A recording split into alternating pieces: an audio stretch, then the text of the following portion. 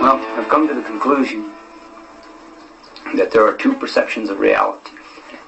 And there's a uh, religious perception of reality, and there's a spiritual perception of reality. The religious perception of reality is about guilt, sin, and blame, and that's the trap. That's the chains that holds every citizen. Spiritual perception of reality is about responsibility. We're all responsible. We're not guilty, we're responsible.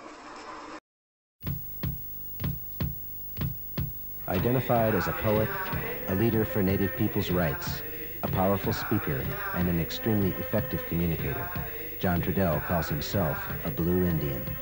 Indeed, Nixon administration, we had gone too far. Trudell served as national chairman through 1979. This is a country where all men are created equal, and it's the land of the free, and the home of truth and justice and liberty for all. Well, we want to know why that doesn't apply to us. With this high-profile position came increased attention from the U.S. government, which compiled a 17,000-page file bearing his name. The violent rap we got laid on us, it was all our people that died.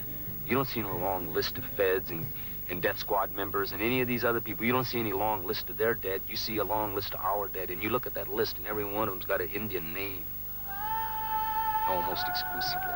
John Trudell himself became a victim of violence when his wife, mother-in-law, and three children were killed when the house in which they were sleeping burned to the ground.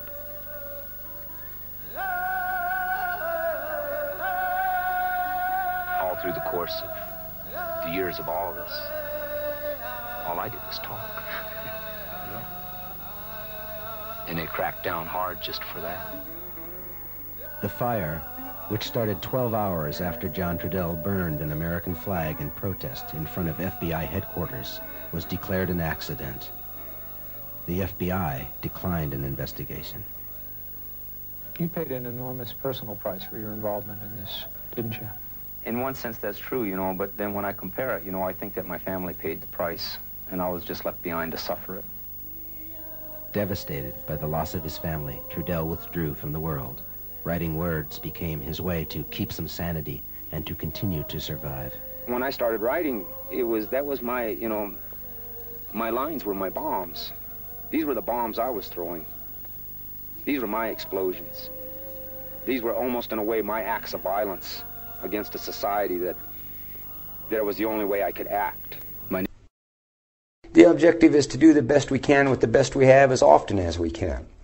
But when I'm saying do the best we can with the best we have as often as we can, I'm talking about using the power of our creative intelligence clearly and coherently. I'm talking about thinking. I'm taking I'm talking about taking the responsibility for that that that sacred power of intelligence that we have been given and do, using that to do the best that we can with the best that we have as often as we can. One of the distinction I make between teaching and programming is we're programmed to perceive reality to meet the needs of this industrial society that we're in. And programming is based upon memorization and believing. Believe the programming. We're not taught to think.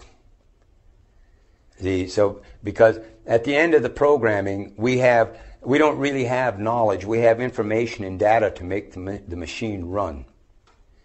Teaching means that when the teaching, as the teaching takes place, we learn from the life experiences. We, we, we gain knowledge about life. Teaching is about life.